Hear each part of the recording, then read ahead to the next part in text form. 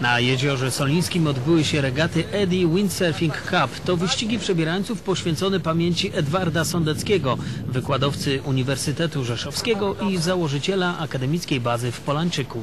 Z wielkiej sympa- sympatii dla studentów, słynął z niesamowitego poczucia humoru i myślę, że najlepiej z nas by się bawił.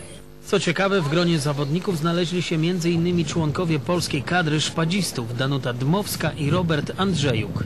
Windsurfing jest zupełnie inną dyscypliną, ale to jest nasza taka pasja z Danusią i pływamy na tym, ale chodzi o zabawę, bo najważniejsze, żeby wystąpić w tym memoriale.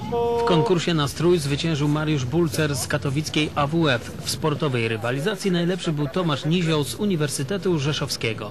odpowiednia taktyka pomogła odpowiednio wyjść ze startu i później już było generalnie nie tak źle. W siódmym memoriale Edwarda Sondeckiego wystartowało prawie 50 zawodników. Thank you.